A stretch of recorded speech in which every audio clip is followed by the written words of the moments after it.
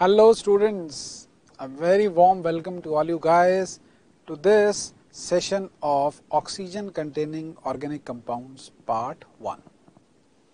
As you all know that this chapter contains three main topics that is alcohols, phenols and ethers. Alcohols, phenols and ether. So, in today's class we will be talking about all the important reactions whether it is preparation or properties of alcohols, then phenols and then ethers.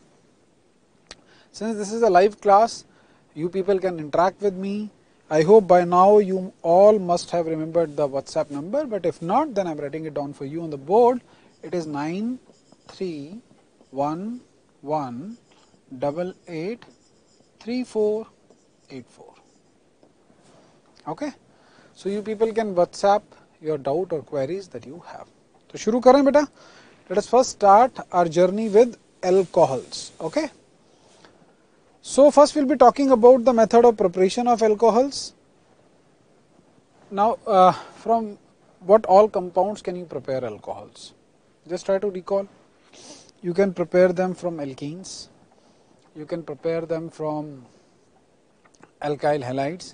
you can prepare them from carboxylic acid,